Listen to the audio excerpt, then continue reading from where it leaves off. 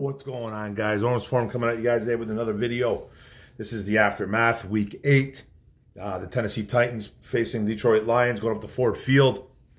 Detroit Lions blow these guys out of the water 52 to 14. Uh, the Tennessee Titans falling to 1 and 6. Lions going up to 6 and 1. First place in the NFC North. A massive blowout win for the Lions.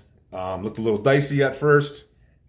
Looked like there was going to be a shootout that it just turned out to be a, a, total nightmare for the, the Titans. And yes, I do have a mohawk. I went to a Halloween party over the weekend, and I might not change it. It's actually kind of comfortable. Um, but let's talk about some injuries during games, some inactives. Tennessee Titans were pretty pretty clean health wise in game. They did have guys like quarterback Will Levis out with a shoulder. Cornerback L'Jarius Sneed was a big one for them with a quad injury. Um, but pretty healthy during in game. Nothing really to report. The Lions, you guys know they had Joshua Paschal out, the defensive end, illness, inactive. Uh, linebacker Malcolm Rodriguez did get hurt during game, rolled an ankle. Um, we'll see how uh, uh, serious it is. Dan Campbell alluding to he doesn't think it's going to be very um, very serious, but we'll check during the week and see how Malcolm is. Hopefully he returns because he was playing good football. Um, stats, get to the stats. We do the Titans first. Obviously, mm-hmm. quarterback Mason Rudolph, who's who, who got the start. He is the backup. He was 22 for 38 with a 57.8% um, completion percentage, 266 yards, touchdown, two picks. He was sacked only once. Um, rushing, running back Tony Pollard was 20 carries for 94 yards, 4.7 yards a carry. Good little running back there. Uh, running back Julius Chestnut had seven carries for 32 yards, 4.6 yards a carry. And quarterback Mason Rudolph, not really known for his running ability, had four carries for 29 yards and a touchdown, 7.3 yards a carry, 158 yards as a unit for the Titans. Um, yeah, we couldn't like couldn't really stop their run game, you know, yardage wise. Anyways, you know they weren't scoring a whole bunch, but uh, they did get a touchdown from Rudolph. But uh, it's pretty nice for a unit as in, as in yardage wise, right? And then receiving, uh, wide receiver Calvin Ridley had a huge day. Of course, the week I drop him in fantasy football. Um, 10 catches for 143 yards. He did have a fumble and a fumble lost, actually.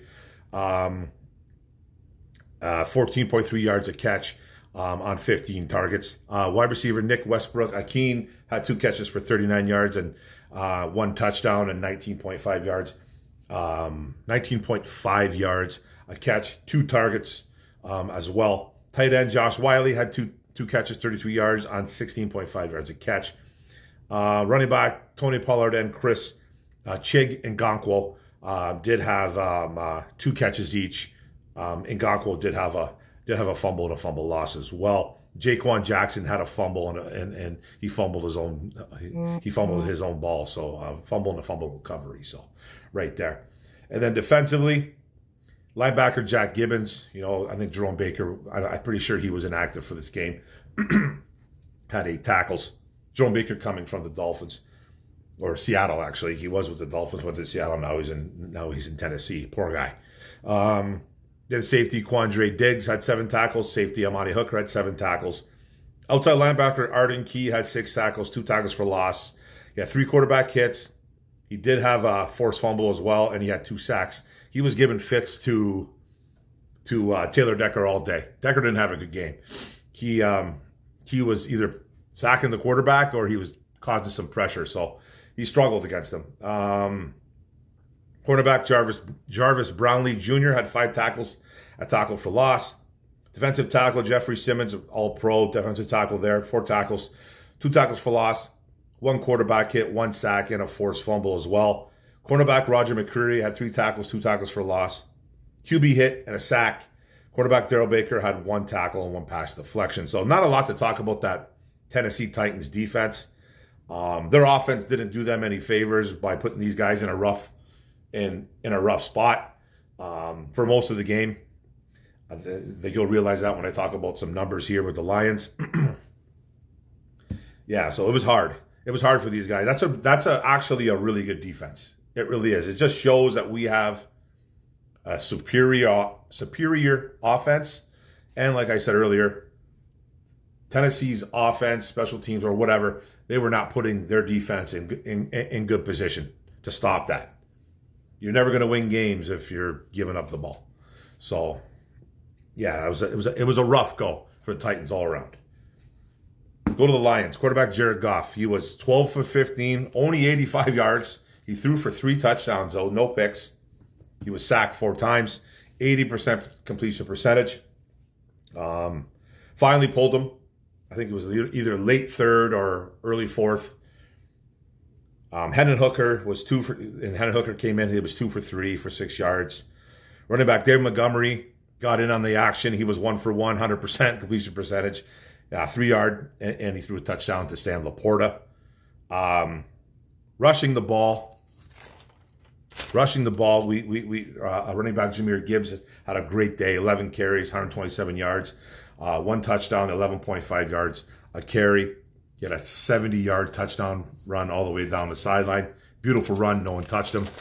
Uh, you don't get a good angle on him, you're not going to catch him. And the running back, David Montgomery, had nine carries for 33 yards and a touchdown, 3.7 yards a carry, um, 164 yards as a unit. So, you know, um, Gibbs having the big day, back to back games with over 100 plus. So good for them. Um, receiving wise, tight end, Sam LaPorta, it wasn't really big here either you know, touchdowns, but yards, you, you, will notice. Tight end, Sam LaPorta, six catches for 48 yards and a touchdown, eight yards a catch, six targets. Uh, wide receiver, Kalif Raymond had a huge day, just an overall day. Two catches, 14 yards, touchdown, seven yards a carry, um, a catch, and two targets. Uh, tight end, Brock Wright, he was one catch for eight yards on one touchdown, eight yards a catch. Wide receiver, Amon-Ra St. Brown, only two cut, two two catches for like seven, I, I believe it was 17 yards or seven yards. Um, he didn't have a big day. It was seven yards, right? I think, yeah, seven yards and one touchdown, 3.5, 3.5 yards a catch. And wide receiver, the rookie out of Illinois, Isaiah Williams, was two for six yards uh, on um, on, two uh, what's it called two targets there as well. Uh, it just wasn't like a big day numbers wise for um, anybody really. Gibbs was the only really big day, you know, um, for yards. Kalif Raymond, we'll talk about that in a second.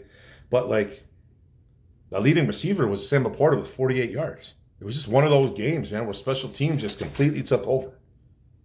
And when I talked about taking over, they took over. Let's talk about the defense real quick. Oh, obviously, too, wide receiver Allen Robinson and Tim Patrick did have a target each, but no catches. Uh, defensively, linebacker Jack Campbell had 11 tackles. He had a nice day. Cornerback rookie Terrion Arnold had seven tackles, a pass deflection. He struggled a little bit. He struggled a little bit against Ridley. You know, Carlton Davis struggled a little bit against Ridley. Amik Robertson, whoever was on him, kind of didn't have a good day um, overall. Stopped him from coming in the end zone, but that's really about it. But yardage wise, it, it was a little bit rough. Linebacker Alex Anzalone had six tackles, tackle for loss. Quarterback hit, a sack. Um, safety Brian Branch had six tackles, quarterback hit. He got beat a couple times in the passing game. Kerby Joseph had six tackles, two pass deflections, and he had a really nice pick where he read Rudolph all the way. It was weird too because before that, before that series or series or two series before, I believe it was um, Aaron Glenn was cussing him out bad uh, on the sideline when he was coming off the sideline, just screaming at him. And then you saw him come up and step up and boom, um, cornerback Khalil Dorsey had four tackles. Defensive end Isaiah Thomas had three tackles and a fumble recovery. Cornerback Carlton Davis had two tackles, pass deflection, and a fumble recovery. Defensive lineman Levi Onwuzurike had two tackles, two quarterback hits, couple pressures too. He was the he was involved in the Trevor Nowaske interception. Um, he was pressuring Rudolph, and that kind of got Rudolph to, to kind of throw off his ball. He was trying to get the ball off a little bit too quick, and, and, and Nowaske read it well and just stepped in front of his man. Um, where am I at? Amik Robertson had two tackles, tackle for loss, two forced fumbles. Uh, defensive tackle Alim McNeill had three tackles, one tackle for loss. No tackle DJ Reader had two tackles. Defensive end uh, James Houston had two tackles and a quarterback hit. He had a couple pressures that I saw too as well. Then linebacker Trevor Nowaske had a pass deflection, and an interception. Now, I don't talk about this enough, and I think I should talk about it more, but you got to talk about it now. Their their special teams were crazy. Khalil Dorsey on kick return had one one one return for 72 yards. He almost got to the house. Punt return, Kalif Raymond had five for 190 yards. It was like 19 yards off the record. 38 yard average. He had a touchdown. It was awesome. He, like he he had a big day. He had a really big day. Got in zone twice. One for one catch, one punt return. And Jake Bates was only one for one, 51 yard long though. Even Jack Fox got in on the mix. He had five catches for um, yardage worth of 305 yards, 61 average, 67 long. So he was he was big. Three three of them went inside the 20. He's, oh, he had a huge game. He had a huge day too. Special teams just took over. Dave Fipp, I think, even got one of the game balls. You know, I think Dave Fipp and, and Raymond. I think there might have been a. I think he gives out three game balls. I don't remember who got the third. Maybe it was just two. Maybe it was just two this week. but I know Fipp, Dave Fipp, the special teams coach, and Kalif Raymond did get one. So I don't know who the third one. Maybe there wasn't a guy, but this game was a weird game to watch. Like I like I saw guys. that Like you put this game on, you watch it. You see, you see Tennessee go down to field, score. We come down, score. It was kind of back and forth, 14-14, whatever it was. Couple, you know. I think we struggled a little bit. I think I think I think they stopped us a couple times before we even got on the board. And then, you know, we got on the board finally.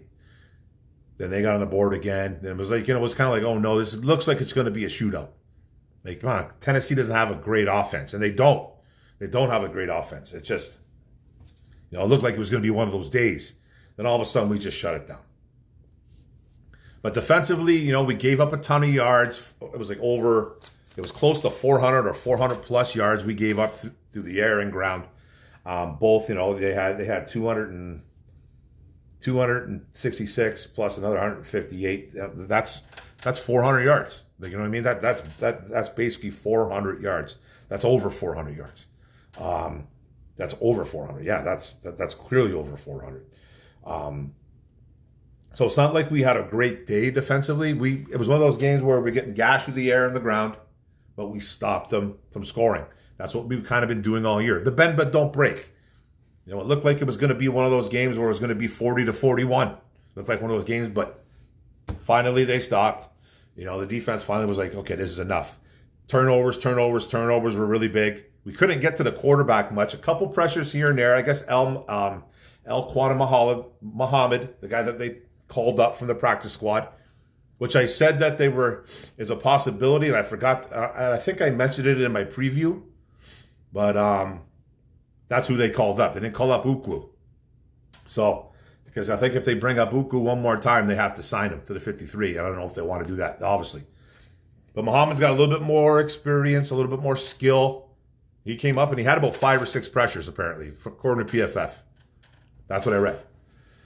So I didn't, you know, you, you didn't see him on the stat sheet you didn't see Muhammad on the stat sheet making tackles or anything like that, but he did make some plays. Okay, you know, getting into throwing lanes, pressuring the quarterback, making. It's all about timing. It's all about timing. So he did that, and in the Lions, you know, turnover, turnover, turnover.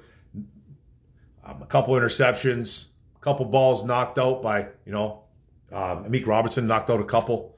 Um, I think I think it was a DJ Reader might have knocked out one. I forget, but um, it was pretty you know, the defense looked like they had enough. It was like, okay, man, this is ridiculous. And they did that. They gave up a lot through the air, though, and, and a lot on the ground. That's just what's going to happen. Not a ton through the air, but they gave up big yardage to guys like Calvin Ridley, 143 yards. You know, but everybody else they kind of held in check, except for really Ridley and you know Pollard almost had 100 yards rushing, but they kept him out of the. They kept everybody, all those running backs out of the end zone. Mason did run for one, and they kept pretty much everybody out of the um, end zone for receiving. You know, they got the one from Westbrook, Ikhine, but other than that, you know, they gave up some yardage. But they played pretty well. Still not a lot of pressure. All the pressure came mostly from the linebackers. Anzalone with the one sack, and that was it. That was just one sack from Anzalone. And that's all. We didn't get any other sacks. And then offensively, offensively, it was just one of those things again when it comes to special teams and it comes to turnovers they were turning the ball over a ton into their own territory. And the Lions didn't have far to go. Goff and company didn't have far to go. It was just one of those games. So, you know, he, he, that's why he didn't throw for a ton of yards. But he threw three touchdowns. We ran the ball well. We had the one long one by Gibby. But other than that, it was just a lot of short field for about five or six drives. It was just, it was one of those games, man. Special teams just took over. Special teams and defense kind of took over that game. And uh, timely, timely turnovers again. And it was, you know, once it was 14 14, that was it. Tennessee never scored again. They didn't get close, really. Um, we just getting turnover after turnover, sacked them once, you know. Just, you know, it just, it was just one of those days. One of those days, and Raymond had a huge game. Raymond had a huge game on off, uh, uh, well, a huge game on special teams, and he's got in the end zone on offense. But no guys really with big, big numbers. Laporta, 48 yards. So one of those games where we dominated, dominated special teams, all three phases of the game. You know, you've heard it, you've heard it a thousand times. You'll hear it a thousand times more. All three phases: special teams, defense, and, and uh, offense. And then that's it. It was just one of those. It was just one of those games, man. This is one of those days. It was just just different, just different. It was a fun game to watch. You know, with, with the turnovers and you know scoring touchdown, put fifty two on the board. You know, I was hoping they were going to go sixty. You know, I was hoping they go sixty, but um, just is what it, it is. What it is, man. Tennessee's a terrible football team, but they do have a good defense, and uh, their offense, Tennessee's offense, didn't give them any, didn't give them any help. Didn't give them any help whatsoever, man. You're not going to ask an NFL team, even if, you're, even if you're a good defense like Tennessee, and just say we were playing a medium, say they were playing a medium offense.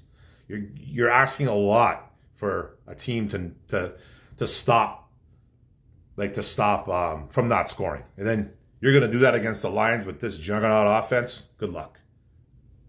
You don't stand a chance, especially at home, especially especially on the road if you're Tennessee and we're at home, right? Just one of those games, man. One of those games, and it was just a fun game to watch. Now, next game is the Packers, who won a um, last second field goal too. They're six and two, I believe. Um, yeah, I think they're six and two. They're right there. They're right there. This is going to be for first place. This is going to be for first place because if we beat them, we got them. Obviously, we got seven wins. If they beat us, the, the record will be seven and two. So you know what I mean. So big games coming up for the Lions. That's at 425, I believe, that game. So that's it, guys. About a 17 minutes and change. Going to be 18 soon. Video. I really appreciate you guys coming in and, and watching the vid. Don't forget to hit the subscribe button on the bottom. Don't forget to hit the notification bell up top. Don't forget to like, comment, share this out. Go Lions. Detroit versus everybody. First place. Let's go. Boom.